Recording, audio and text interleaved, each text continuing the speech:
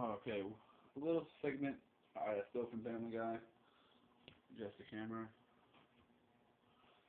What grinds my gears? It's gonna be one topic right now. It's gonna be a short little video while I wait for the other ones to upload. Fucking guitar picks. I buy them all the time. I know I have at least a fucking a thousand here. In my lifetime, I promise you, believe me or not, I probably own around fifty to sixty thousand fucking guitar picks. And I'm trying to play guitar and not one. Clean my room, messed it up, clean it up again, just to find one. Still nothing.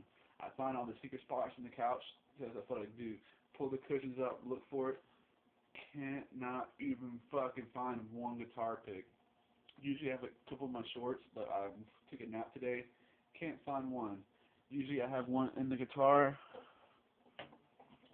Neck, still not them. Nothing at all. It pisses me off. Even because every time I move, I find a couple of them.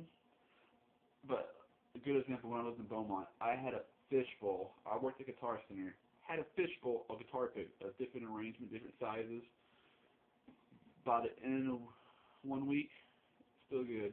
By the time we're about to move, not one in there. Usually they fall in the holes of the guitar, nothing. When we moved, I found about 30 out of like a thousand. Not even bullshitting you.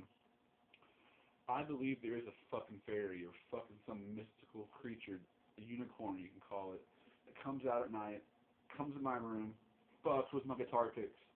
I have fucking my wallet over there with money. I got my party goods over there, still good. Movies, fucking PlayStation 3, nothing. They fuck with my guitar pick. It's the little things that fuck with my head. Well, I guess I guess that's my segment of grinding gears fucking guitar picks. You never find them, never have them when you need them, and when you don't need them, you find them everywhere. Plain and simple. Usually I give a kiss for my segment, but fucking guitar picks.